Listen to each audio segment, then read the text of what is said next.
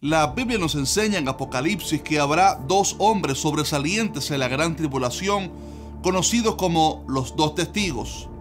Ellos tienen poder para lanzar fuego sobre sus enemigos, cerrar el cielo para que no llueva y hasta pueden herir la tierra con plagas sobrenaturales. El papel de estos dos personajes será fundamental para que el pueblo judío se vuelva al Dios verdadero. Pero, ¿quiénes son? ¿Será Moisés y Elías o incluso Enoch o alguna otra persona? Hoy lo veremos aquí en que dice la Biblia. Bienvenido.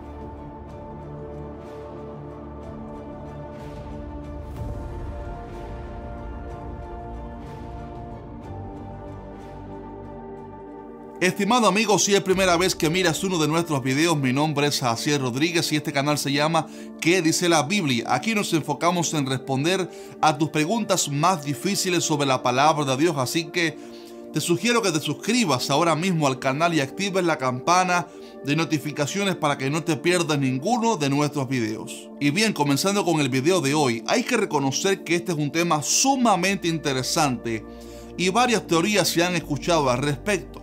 Para poder comprender quiénes serán estos dos personajes necesitamos primero leer el pasaje y ver el contexto. Así dice el apóstol Juan en Apocalipsis 11. Entonces me fue dada una caña semejante a una vara de medir, y se me dijo, levántate y mide el templo de Dios y el altar y a los que adoran en él. Pero el patio que está fuera del templo déjalo aparte y no lo midas, porque ha sido entregado a los gentiles y hollarán la ciudad santa 42 meses y daré a mis dos testigos que profeticen por 1260 días vestidos de silicio. Estos testigos son los dos olivos y los dos candeleros que están en pie delante del Dios de la tierra.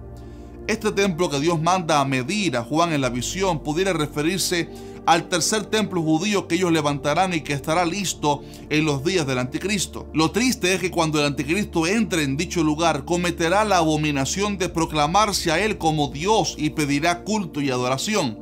Será entonces que los judíos se darán cuenta de que han sido engañados y tendrán que huir al desierto para escapar de la persecución que el anticristo ejercerá contra ellos. Por esto le dijo Jesús al pueblo judío en Mateo 24, cuando veáis en el lugar santo la abominación desoladora de que habló el profeta Daniel, entonces los que estén en Judea huyan a los montes, el que esté en la azotea no descienda para tomar algo de su casa, y el que esté en el campo no vuelva atrás para tomar su capa. Creemos que ese es un pasaje dirigido al pueblo judío que tendrá que huir al desierto, como también Apocalipsis 12 presenta a Israel como una mujer que huirá al desierto por tres años y medio. Ahora bien, en medio de la confusión de los judíos y la persecución tan fuerte contra ellos, Dios levantará a dos hombres que profetizarán y serán de perturbación para el anticristo y sus reyes. Veamos algunos detalles sobre estos dos personajes. En primer lugar, es impresionante el poder que ellos tendrán para hacer grandes milagros.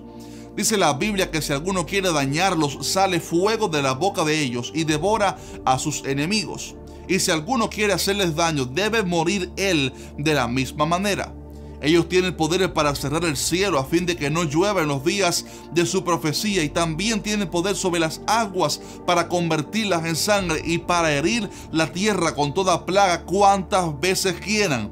Los milagros que ellos harán enfurecerán al anticristo y atormentarán a los impíos moradores de la tierra, así como el profeta Elías enojaba al malvado rey Acab.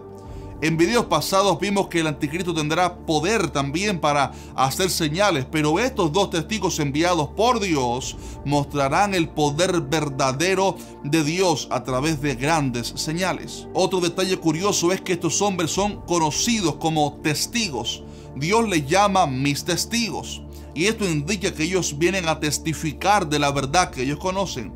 Pero no solamente esto indica que ellos testificarán de algo que conocen, sino que morirán como mártires, porque la palabra testigo en griego es mártir. Ellos proclamarán al mundo que los desastres que estarán aconteciendo son juicio de Dios y que necesitan volverse al Mesías verdadero, el que ya vino dos mil años atrás.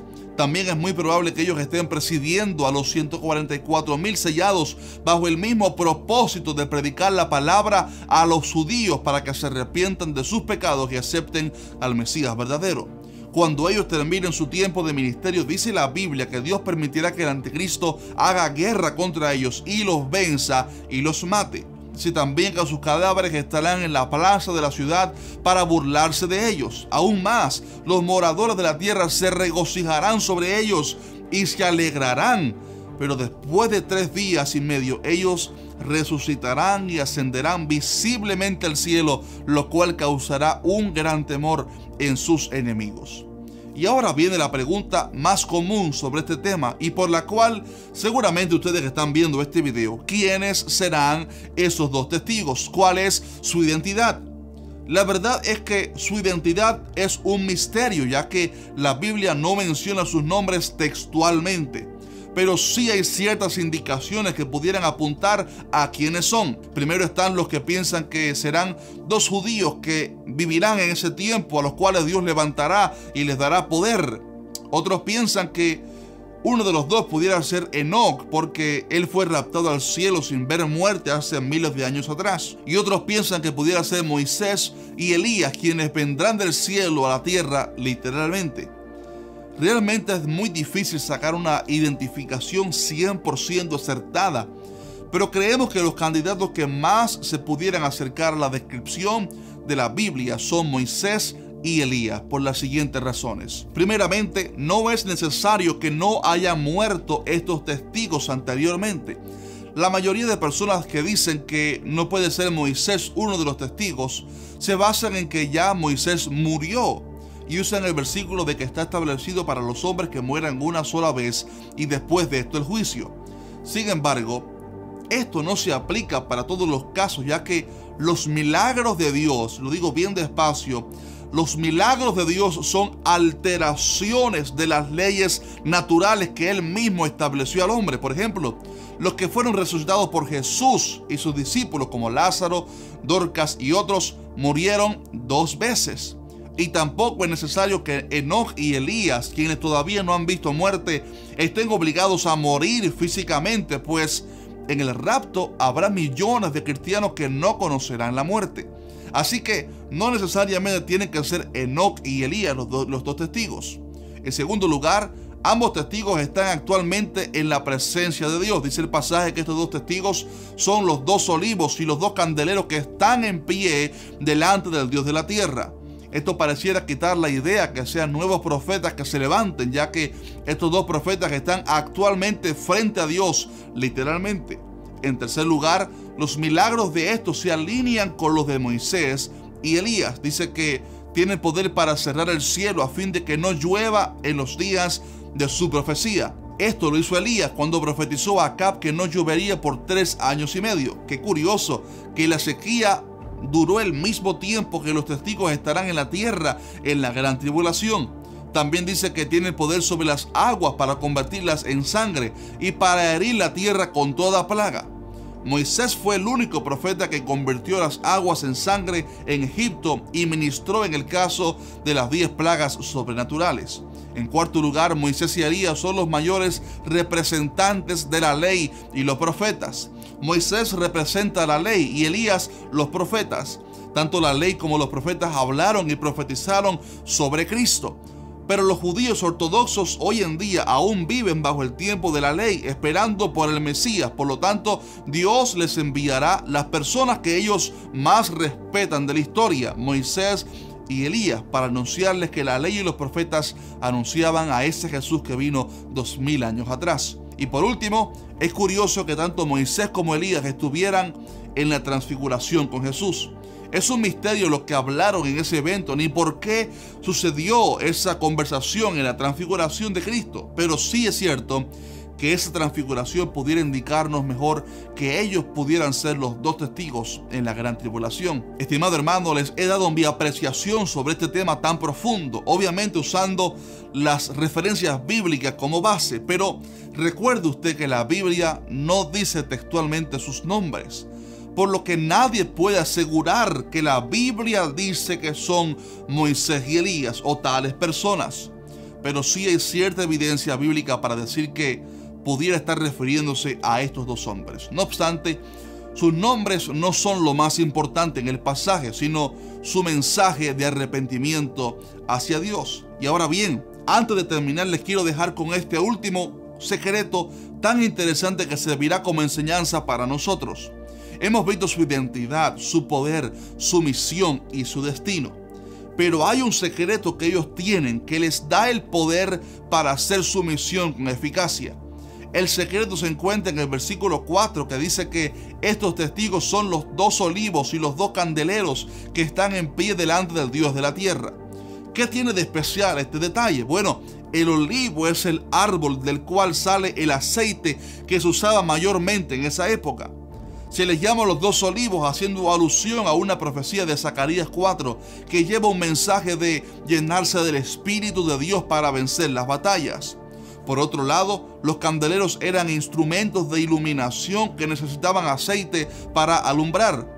Ambas descripciones que Dios usa para estos dos hombres tienen que ver con el aceite, el cual es un símbolo de la unción del Espíritu Santo. A estos dos testigos del Apocalipsis Dios les llama sus dos olivos porque su característica principal es que estarán llenos del poder del Espíritu Santo para hacer la misión encomendada y brillar con el testimonio de Cristo. Estimado hermano, la unción del Espíritu Santo es el secreto para ser vencedores. Con esa unción Sansón mató a mil hombres usando solo la quijada de un asno. Con esa gloria David mató al gigante Goliat. Con esa misma presencia Jesús tuvo un ministerio tan exitoso porque dice la Biblia que él estaba lleno del Espíritu Santo y con ese mismo aceite los discípulos de Cristo pudieron ser testigos de él y sembraron el Evangelio eh, en el mundo entero, la palabra de Dios. Por lo tanto, es vital que en estos tiempos finales busquemos la unción del Espíritu Santo a través de la oración, lectura de la Biblia y tiempos a solas con el Señor. Cuando pasamos tiempos a solas con Dios, nos vamos a parecer más a Él, vamos a alimentarnos de Él. No importa cuántos años usted lleve en el Evangelio, siempre hay más de Dios que debemos conocer. Él es inagotable. Deseo que cuando Cristo venga por su pueblo, encuentre una iglesia como los dos olivos, como el candelero, llenos del aceite del Espíritu Santo. Amado hermano o hermana, si este video te bendijo, por favor, déjame saber abajo en los comentarios. Escribe y dime ¿Qué te pareció este video? ¿Cómo te bendijo? También déjanos un fuerte like y comparte este video con tus amistades, tus hermanos en la fe. Por favor, compártelo en tu muro, en tus redes sociales. Nos vemos en el siguiente video mediante el Señor. Y para aquellos que aún no han descargado el, artículo en PDF, el estudio que hicimos sobre Apocalipsis, en la descripción les voy a dejar el link para que lo puedan descargar hoy mismo gratuitamente. Un fuerte abrazo y muchas bendiciones.